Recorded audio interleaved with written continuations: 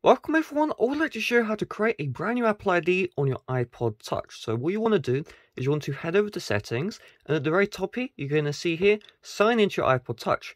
Tap on this one and then you're going to see this. Don't have an Apple ID or forgot it? Tap on this and then you're going to see here create Apple ID.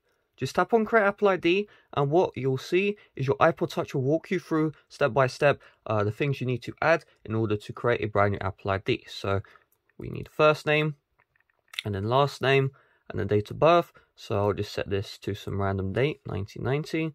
Then we'll go next and then email address. What you can do here is if you don't want to use your current email address, you can tap on this one.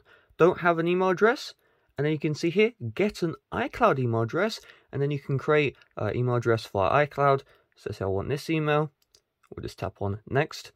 And then we'll tap on create email address. And then once you've done this, it will ask you for your passcode, it will ask you for your address, your phone number, stuff like that. Everything is walked through. If you do have any errors while trying to download applications, I will leave the errors you may get and those fixes uh, in the description down below. But really, that's all there is to it. So hopefully this video did help you out. If it did, make sure to leave a like, subscribe if you're brand new. Thanks for watching. See you guys later. Bye bye.